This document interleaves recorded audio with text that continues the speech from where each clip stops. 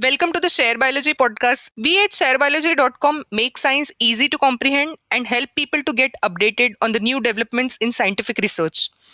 I am your host, Shivranjani Mohurir, a postdoctoral fellow from India.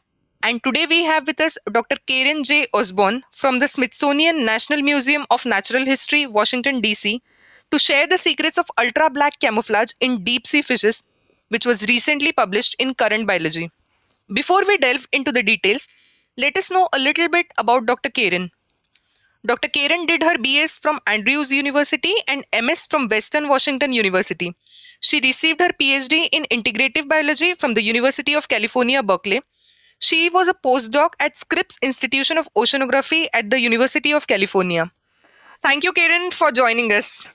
Uh, now, before we start the discussion on your recent paper, to motivate our young researchers, please tell us what inspired you to walk the career as a marine biologist. I read that you like to scuba dive and were fascinated with the amount of diversity that existed in the coral reefs. So please tell us about it.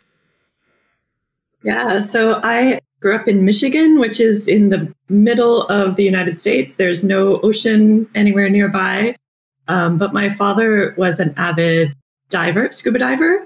And so I got interested in it because of him. And then I, when I was in college, I wanted to travel for a year. And all my friends were traveling and going, you know, all these fancy, amazing places and just traveling for fun. And I couldn't afford to do that or anything remotely like it. So I found a program where I could go and teach um, teach school for a year. And so I chose uh, Micronesia, which is an island basically halfway between um, Guam and Hawaii, so out just in the middle of the Pacific. And I went there because I knew that it would be really interesting culturally and because um, I would be able to scuba dive because yeah, it should be warm and gorgeous and everything there.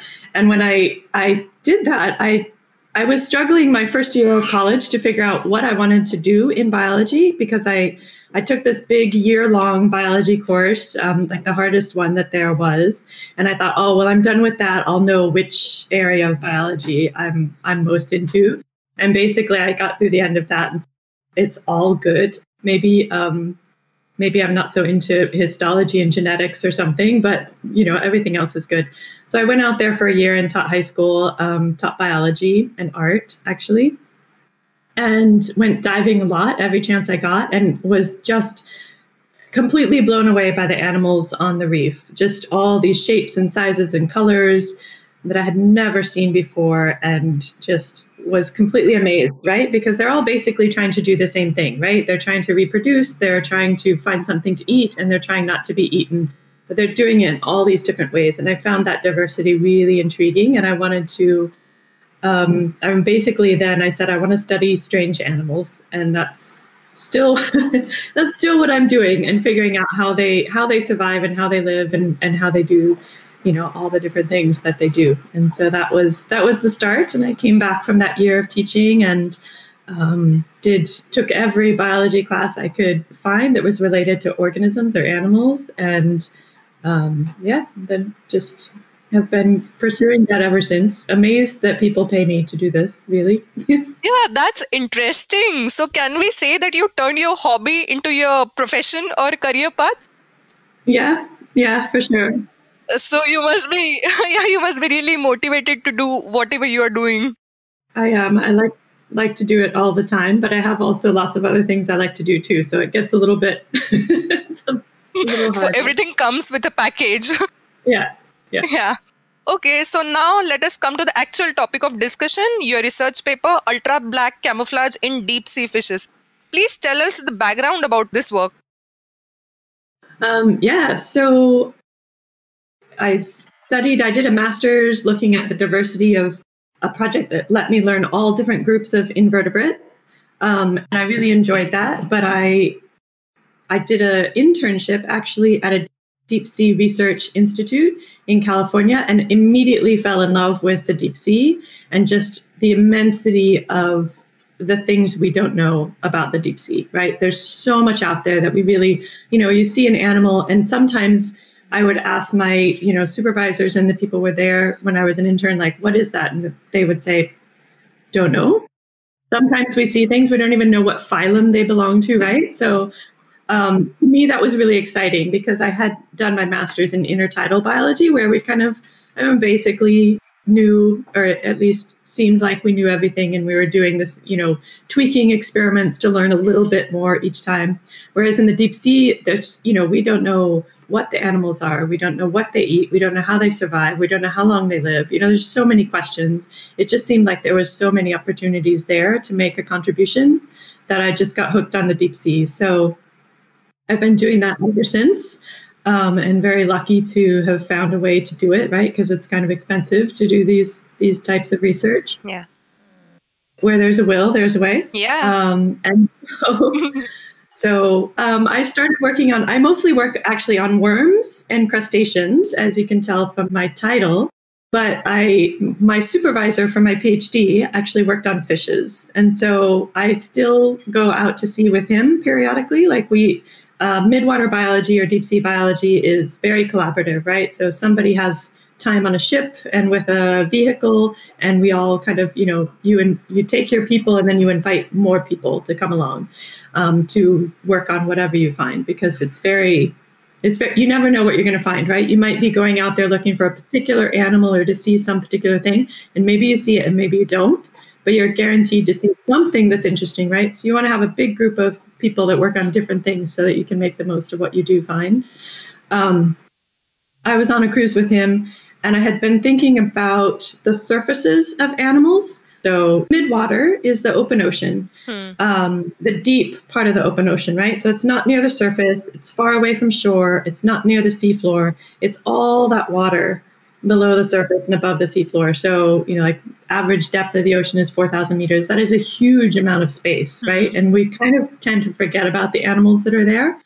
Um, but there's a huge diversity of animals there. So we were out exploring that. One important thing for animals that live there is that there's nowhere to hide, right? There's no seaweed, there's no coral reef, there's no rocks, there's nothing out there. So it's very important to be able to hide basically in plain sight out there. In the shallower water, that is often done by being transparent. Um, and if you're transparent, that's great. The light passes right through you and things can't see you. The problem is that if crustaceans, especially, they have an exoskeleton, right? And the exoskeleton is made out of chitin, and that has a different refractive index than water. And so when light passes through water and hits that chitin, it's from a certain angle, it's going to bounce off it's not going to pass straight through. Okay. So we were studying these crustaceans that have um, anti-reflective films on them, just like on a camera lens or something. And so I was thinking about the surfaces of animals and what the surface does to the light and and things. And I was on this expedition with my um, previous supervisor, Bruce Robison, and he collected a fish, which is not something we do very often with the remotely operated vehicle because most of the time the fish can get away from us. They're much faster. They're much faster than the vehicle. But in this case, we actually managed to catch one, and it was a fang tooth, which is a really cool, you know, one of these quintessential deep sea fish uh, with big teeth, and you know. And I was looking at its skin, and I, I got really interested in what was going on with its skin because I had tried to take pictures of deep sea fish before, and usually I just get these really horrible pictures of silhouettes. Okay. Maybe you can see the eye, but for most of the fish, you just get this silhouette. And I have a very fancy camera system, right? So my my startup at the museum, I got to buy this really nice camera, and um, usually I can take a picture of just about anything. So I was really frustrated that I couldn't get photographs of these things. So I asked one of my friends who works on camouflage in the deep sea and um, optics and how light interacts with things, and I asked him. I said, "Sankas, how do how do blackfish? How do they make themselves so black? Because it doesn't seem to matter how much light. You know, I can use four flashes and all the light disappears. Right? They just suck it all all up completely. They're so amazing." And he said, "Oh, I don't know. Nobody's ever looked. We." Um, they're, we just assume they have lots and lots of pigment or something there, but we've never looked at that. And so I said, oh well, that's interesting. Maybe we should maybe we should take a look. So I started taking um, skin samples from fish that were being collected for other projects um, by other researchers. And so that's part of why it took a long time, right? Because I would just, whenever I was out on a cruise and we would get a fish that was black, I would take some skin samples, take it back to the museum, look at it under the microscope, do a, do some scanning electron microscopy and things like that. And I started to notice a pattern that we were seeing very similar arrangement of pigment in the skin in all of these different fishes. And what I find so interesting about this project is that we've sampled 16 different groups of fishes all across the diversity of fishes, right? There's deep sea representatives from many of the fish groups that we know of. And every single one of them arranges their skin pigment in the same way. And it's very different than how most fish have skin pigment. And so I kept pushing Sönke, who's the mathematician and the biophysicist. I kept pushing him like, look, there's something going on here with their skin, right? This is not normal. It's not that just that they have a whole bunch of pigment out there and it's it's able to absorb all the light, but something is going on. So can you model something or do some, you know, some kind of fancy math? I am not a math mm-hmm. person. Mm-hmm. um, do something, you know, do some modeling and figure out what's going on with these particles. There has to be a reason that they're all the same size and shape and the way that they're packing them in there. And so it took a couple of years for him to play around with a couple different ideas, kind of always, you know, it's this has always been a side project. Not either of us what we normally do. It's just kind of this little hobby on the side. And um, after a couple of years, he said, "Oh, I've got it." That like I looked at a bunch of modeling of how they looked at why the moon is so reflective and the size of the particles on the moon and how they're packed together and stuff. And he figured out um, this nice model so that we could look at them and figured out that the size of the particles of pigment in their skin are just the right size and just the right shape and packed together in just the right way so that they are super efficient at absorbing all the light. So those particles are made out of melanin, which is the same pigment that we have in our skin and our hair and birds have in their feathers and everything. So it's that same pigment, melanin, and it's packaged into small granules called melanosomes. And those melanosomes are a little bit bigger than most animals, and they're more capsule shaped, so they're kind of elongate instead of being spheres. And then they're packed in together in layers that are about five microns thick. And what that does is basically the light comes in, and any light that's not immediately absorbed would normally be reflected back either either back where it came from or um, in some other direction forward, and it would bounce around a little bit, and then it would be seen. But in this case, what the shape and the packing of those particles is just right so that any light that's reflected off of them goes sideways. And they have this very thin layer of all these particles. So if you can keep the light in that thin layer, then it's going to all get absorbed before it goes out. Um, and that's particularly exciting and interesting because ultra black materials are really um, they're really useful. They're used in like high power telescopes and camera lenses, solar panels, and things like that. Anywhere they want to make sure there's no light bouncing around where it's not supposed to be. Um, but they're really expensive to make those materials because you have to basically make a physical light trap, something that keeps the light trapped so that the pigment can absorb all of it. And usually that means some kind of structure. So, like butterfly wings, they have these really cool little box shaped things where the light goes in, it kind of bounces around inside that box until it's all absorbed by the pigment underneath it. But what these guys have done is they've gotten rid of that whole structure to trap light and they just use the pigment granules themselves, the shape of the granules, to keep the light in with all the pigment and absorbing them. So it's a really simple system much simpler than than all the other systems that we know of, whether they're man-made or in animals. Yeah, that's interesting. It's really interesting. Another question is are there any specific spots or locations on the body of the fish where the area is more uh, is darker or it's dark overall uh, it depends on the fish that's a great question Many of the fishes have bioluminescence as well. Bioluminescence uh, is light produced by other animals uh, or other organisms. It can be bacteria as well. Often it's bacteria. And in the deep sea, in the midwater, something like 85%, maybe 86% of the animals that are there produce light of some sort, right? So it's very different than on land. Many of the, it, it's more the rule that they produce light than, than the exception, like it is up here on land.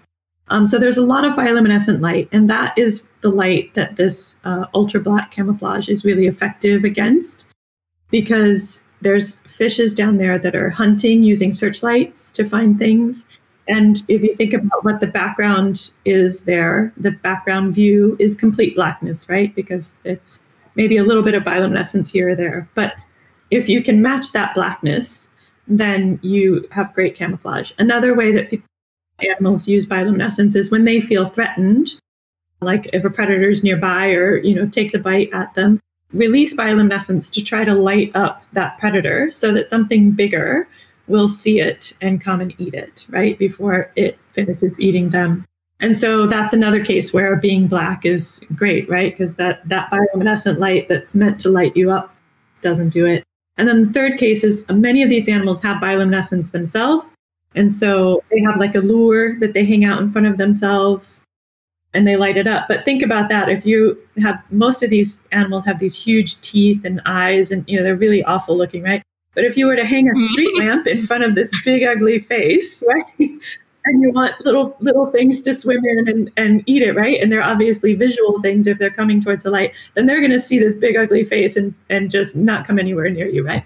So if you're ultra black, you can hang a light right in front of yourself and they won't be able to see you. So there's a lot of different ways to do it. So we do see on different fishes, we see different parts of the body being ultra black. Some of them, the entire body, like several anglerfish. There's many fish where the entire body is ultra black. Even their fins and everything are covered with this pigment. But we also see many fishes, different types of fishes, that have like their belly is ultra black because they eat bioluminescent things. And while you're digesting something that's bioluminescent, it tends to glow. And you really don't want to run around with a big glowing belly in a place where you want to be dark. yeah. And many of the animals, yeah, many of the animals that have photophores, they will put a bunch of ultra black material around that photophore so that they can control where the light goes, right? They want the light to only go straight down. So they put a, all this black material around it so that it doesn't go other directions and light them up. Yeah. So my next question is could you see any by a symbiotic relationship of any bioluminescent bacteria with the fish that you uh, with the specimen that you got there probably is but i don't know well, we didn't pay much attention to the bioluminescent stuff other than looking at the patterns of where the pigment was in relation to their bioluminescent organs but like some of them make the bioluminescence themselves and some of them culture you know they have a bunch of bacteria in an organ that makes the light for them um, but we didn't pay much attention to to that interaction for this project. Yeah. So being dark and being transparent could be two ways of hiding from either the prey or predator. So uh, which one do you think would be more efficient or do you think it, it, the depth of ocean at which the organism is there would decide which one would work better for that? Yeah, so you've nailed it there with you've answered your own question. oh, I'm learning very biology from you. so the, the, we tend to see um, we tend to see transparent animals up in the very shallow water where there's a lot of light. So up where there's still sunlight coming down, because then when you're up in shallow water and there's light reflecting all around off the particles in the water, the light is coming from all different directions. And so being transparent is incredibly effective then because it's very hard to mesh with the background because the background is changing depending on which angle you're looking at it from, right? Right. Um, right. Being black up in the shallow water is really not good because you stand out like a sore thumb. You're just, everything can see you. Um, but many of these fish that are ultra black, they um, they actually migrate up into shallow water at night and so okay. being black, uh, ultra black for them up there is it's a problem. And that's when we see them having photophores on themselves because most of the predation happens from below. And so you've got light coming down from above and you've got a black animal and a, another animal looking up trying to see its shadow. And a black animal makes a great shadow, right? Mm, right. So they have usually photophores underneath themselves so that they can mask, they can make light to match the light that's coming down from above. Okay. Researchers are just starting to look at how they match that light, and there's certain some in some fishes there's particular parts of their eye that are that all they all they do is look at what's the ambient light and then they can control their bioluminescence to match it uh, which i just think is is so cool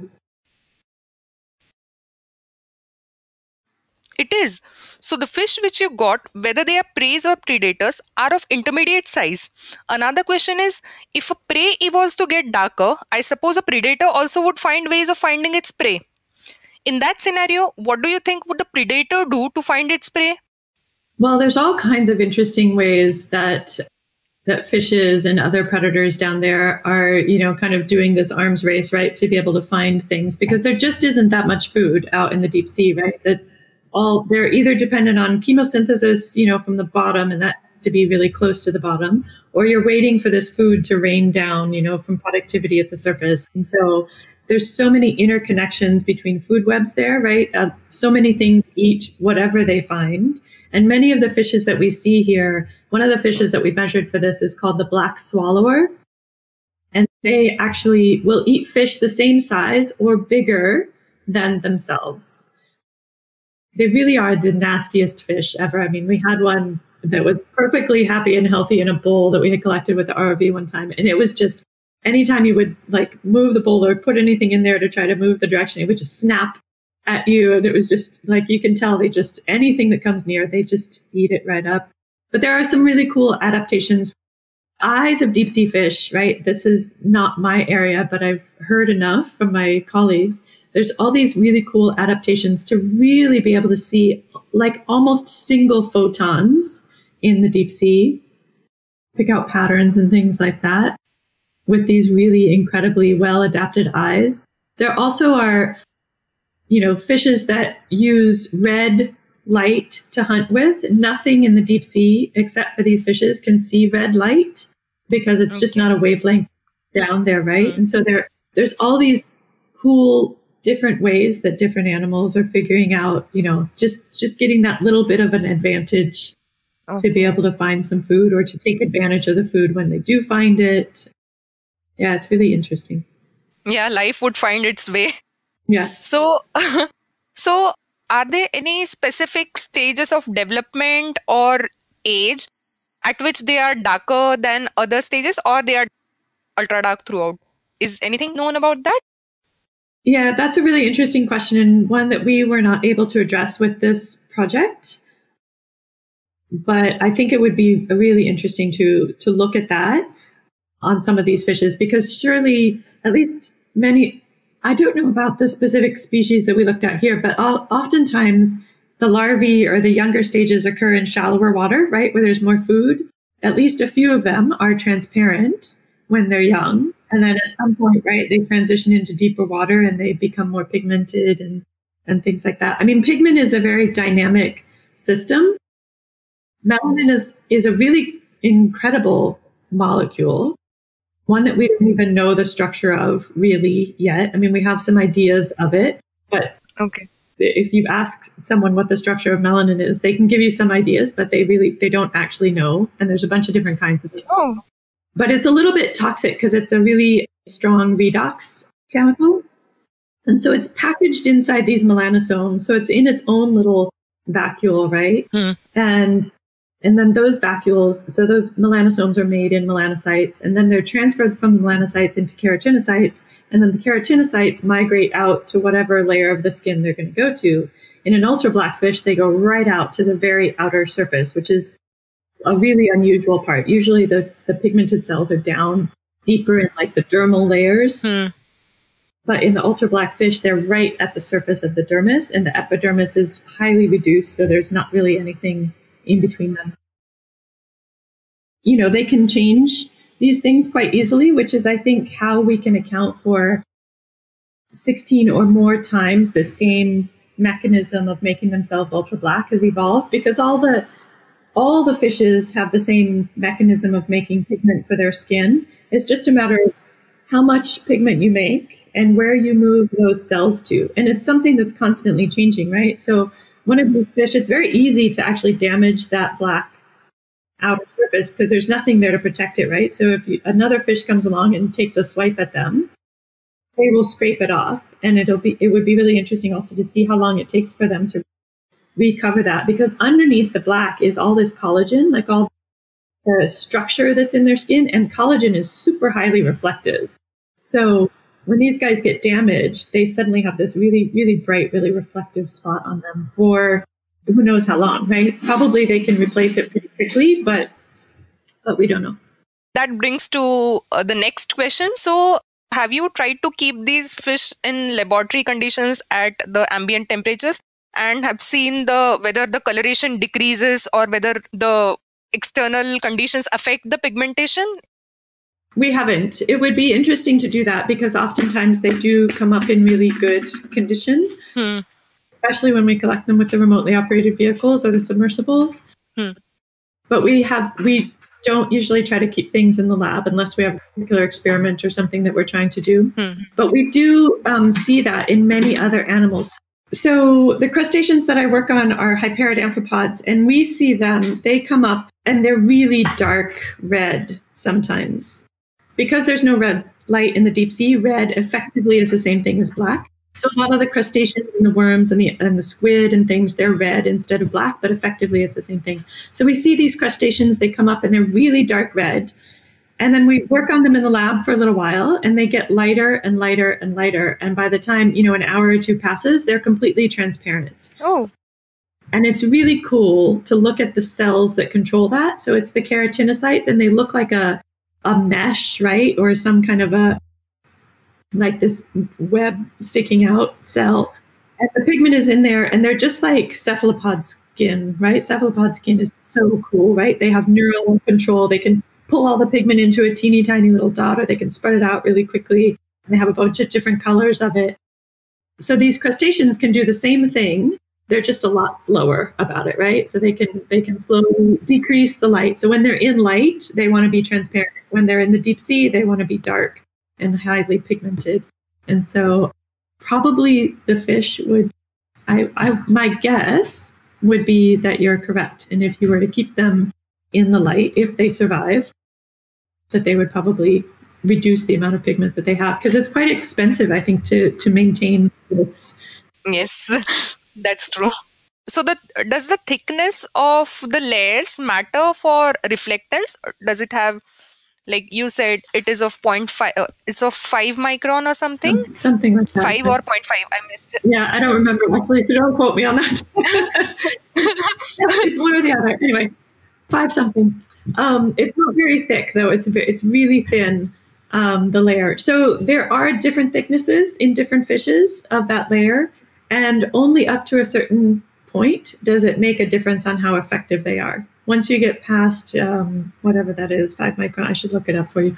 Um, once you get past that thickness, it doesn't matter. Uh, the layer doesn't have to be very thick for it to work really effectively. So, yeah, that's interesting. Uh, so, this reflectance is lower than the blackest known animals. Just to give a perspective, how can it be compared with any man-made material can you just give an example that this man-made material is this dark something like that so the best the blackest man-made material that i know of is Vantablack which is made by Surrey NanoSystems in somewhere in england and basically it's a set of they grow carbon nanotubules and it looks like a carpet right they just pack all these nanotubules together and the light goes in and it bounces around in these tubules right and it never comes out and that is 0.05% of light reflected back. And we had one of the anglerfish was indeed that black as well. So they're as black as Vantablack for blue and green light, which is so cool because that's what most of the bioluminescence that's out there is blue and green wavelengths. And so it's really cool that they've not only are they super black, but they're super black in the particular wavelengths that are important to them.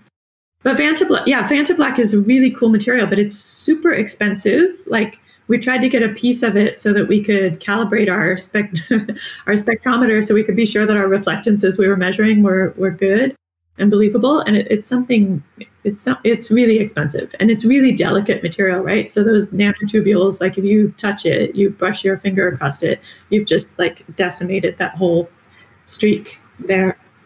So the fish are not that fragile which is cool.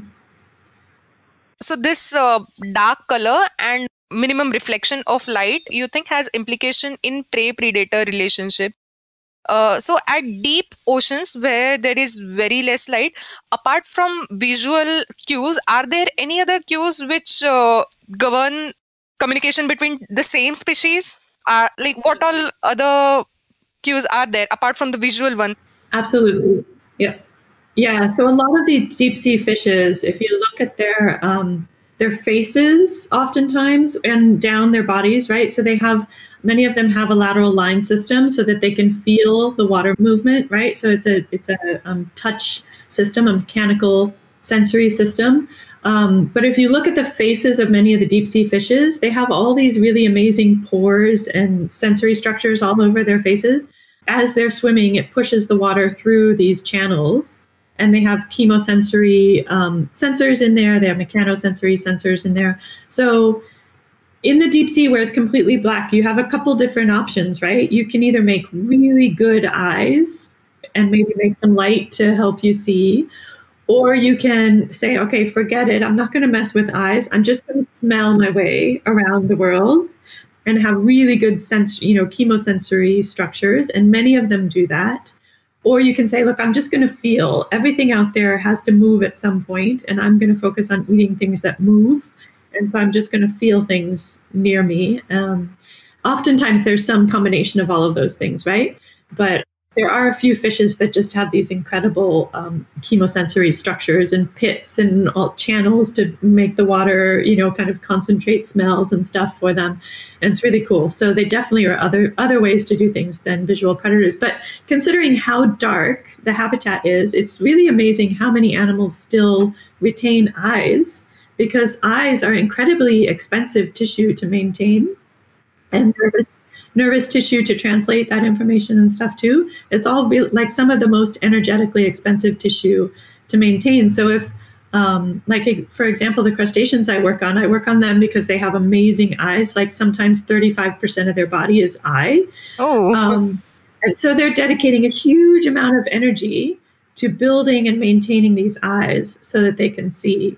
And that's, you know, that's an interesting, mm. interesting choice. I mean, it's not a choice on the individual's part, but like evolutionarily, that lineage has gone in that direction. So that you know, vision they're really depending on vision for everything. Um, and so it's interesting to see those trade-offs in the deep sea where there's not a lot of energy to be had. And so everything is really, really tight, right? And I think that's why we got this ultra black material they are making themselves ultra black. They're using the least amount of material and the cheapest material they can make, you know, so that they can use as little energy as possible to to be um, effective in their camouflage. What about the size of the eyes of the the fishes which you got, the ultra black fish? Oh well, it depends. Some of them have not really a continuum. There's you either have big eyes that work well, or you kind of forget about your eyes, right? So, like the black swallow has this huge mouth and this huge extendable belly and these little tiny beady eyes. So it's probably just smelling its way around the world, which is interesting. And another thing that I find interesting is that smell and, you know, for us, smell and taste are very different things. But in the ocean, smell and taste are the same thing, right? It's all chemosensory stuff. So you're just, you know, it, yeah, it, it's, it, they're completely commingled, those things. And it's very useful because the ocean is actually really structured and most of these animals are quite small right? So the water is not the way that we experience it right? It's not this big viscous everything mixing kind of place. It's very viscous so it's kind of like swimming through honey. And so if there's a, particle that swum through right that scent trail is a is quite a distinct trail that they can usually follow through this viscous liquid and track down, you know, that that particle or their animal or whatever that was there. So it's a really not an intuitive thing for us to think about, right? Because it's such a different scale than the animals down there. Yeah, right, right. So this low reflectance of light can be taken as maximum absorption of light. by the animals. So, do you think these fish have any specific advantage because of which they absorb the maximum light? So, some people have asked me something similar, and I really don't know the answer. But they've said, you know, okay, if they're absorbing all this light, wouldn't that be generating some heat for them? Heat, exactly. Bit, right? Yeah. Yeah. I mean, it may, um, if it's like a really big bioluminescence or something like that, but it's so cold down there, right? It's the temperature of our refrigerators, like two to four degrees Celsius. It's really cold. And so there's so little light that I can't imagine it would make much of a difference to them. But who knows? Other things that could be really interesting. So, melanin is this really cool chemical, and it actually absorbs all kinds of radiation, not just visual light, but also lots of really harmful types of radiation. So, under the dome at Chernobyl, there's a fungus that grows that's completely black that uses melanin to absorb energy from the radioactivity and that's what the fungus grows on. So it's growing under this you know giant cement dome with no light no nothing. It's just using the radioactivity that's there and the melanin to harness that um, to grow. And so they melanin absorbs all kinds of um, all kinds of energy. It also absorbs all kinds of toxic um, chemicals. It's a really strong redox reagent. So if you have an outer layer of this stuff on you, then that also can be serving to protect them from, you know, toxic chemicals that they may encounter or any different kinds of things that they could encounter, which is kind of interesting when you think about um, if you wanted to to create a material like this using melanin and use it for like camouflage for humans, right? For like, you know, protective gear or something. Um, not only would you be making yourself a nice camouflage for doing things at night, but um, you'd also be protecting yourself from chemical weapons or from radioactive weapons or things like that, which is a really interesting idea. I generally stay as far away as I can from military things, but I was like, okay, if we can protect our soldiers from you know mm. like that, that's a that's a nice that's a nice idea. So yeah, so there are two applications probably of these ultra black fish. One is like you said, generating ultra black surfaces, and the other could be this energy, like the light, since it is absorbing maximum light. It can yeah. store it in the form of heat energy or store as in yeah yeah store we can say yeah. Yep. Yeah. You. It. I'm. It sure. It has to. Right. The energy has to go somewhere. Yeah. That's interesting. Okay, one quick question. It might not be related to this study. So, how deep have you gone under an ocean? Like, um, yeah. So, I mostly have used. So, when I scuba dive, I don't usually go past 100 feet or like 30, 30 ish meters. Um, mm-hmm. But in the submersible, I've gone, it goes down to 400 meters. Wow, 400 meters. Before I was a graduate student, I went on the Johnson Sea Link, which was a submersible um, previously, and that one goes down to thousand meters. So we didn't get that deep on on my death, but okay. I don't remember. Yeah, but 400 is still very impressive. You would have like got the whole flavor of under ocean life Absolutely. It's really interesting to sit in there. And this particular submersible, the JAGO, has a big dome window about, uh, I don't know, like two or three, like almost a meter, I think, in width. And it has a similar dome on top. And so you can, as you're going down, you're kind of going too fast to be able to look out the front. And but you can look out the top dome and see the light just fade as you go. And where I've done that work was in off of Cape Verde uh, where the water is really, really clear, right? And it was amazing to me how quickly the light that my eyes could see disappeared, right? So within a few um, tens of meters, it it was quite dark. Um, but and, and, I was a little worried about going in them, right? They're very small spaces. You've got a lot of water around you, you know. so um, do you have any like any companion, or you just yeah, go yeah. alone in? No, no, thank goodness this is there's a pilot in there who knows what he's doing, right? And he's yeah. used to managing us crazy scientists who come down and are just like so excited and, and interested in this. But I was so excited to see things not through a camera, but with my own eyes, that I really, I never even thought about all the other, you know, I don't know, things that could go wrong or, you know, whatever, because it was just so cool to to be able to look out and see with your own eyes. It's a very different experience. Yeah, different so experience in itself. Yeah. Yeah, we can do so many things with the remotely operated vehicles. We can go deeper, we can stay longer, we can collect more stuff um, because you really don't have to have all that life support material and everything. Um, but there's something about seeing it yourself, right? And actually watching the interactions, and you can turn the lights off, and our eyes can see all the bioluminescence and everything happening. But cam- cameras that can see that are really expensive, and so we've only just gotten in the last several years. But it was really cool to just turn all the light. At one point, we had to turn the lights off because there were so many animals attracted to the light, so we couldn't really see anything out there. They were just krill and and hyperiids all swarming around the front, and so we turned all the lights off completely, and then we watched them all bioluminesce as they dispersed away from the submersible, and it was it was just amazing to be able to see all of that activity and stuff with your own eyes. Dr. Karen, thanks for taking us to the depths of the ocean to experience the secrets of deep sea life. It felt surreal. Since we are at the end of the podcast, we would like to conclude this episode with your message to the young researchers. Yeah. So I, when I did my undergrad, you know, uh, study, I remember how we were taught biology, which is, you know, kind of you can you can look up the answers to a lot of different things, right? Um, and I didn't really find it that inspiring because it seemed like it felt like we knew everything, right? Which is obviously not the case, right? And we we know that the pandemic is really bringing that home, like really strongly. Um, but but I think it's really important to instill in students that there's so much to learn and so many interesting things that we just don't understand and we don't know about um, and that is most clear in like the deep ocean because there's so many things. You know, I, I give talks a lot of different places to a lot of different audiences, and I always get really wonderful questions. And most of the time, I can't answer half of them.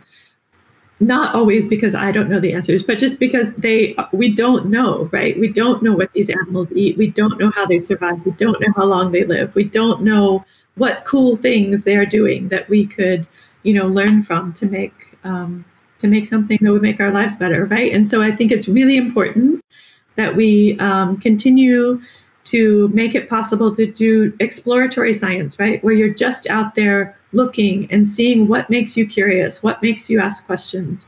And that for students, I think, is the most important thing, right? That they ask questions and that they um, they realize that they can make a difference. There's so much, so much to learn and so much to contribute. Dr. Karen, it was a pleasure to have you as a guest, and we look forward to the opportunity to do so again. Thank you guys so much for the invitation. Good luck. Well, listeners, we hope you too vicariously experience the life at the depth of oceans. And if you like our work, please subscribe to sharebiology.com for more podcasts in the future.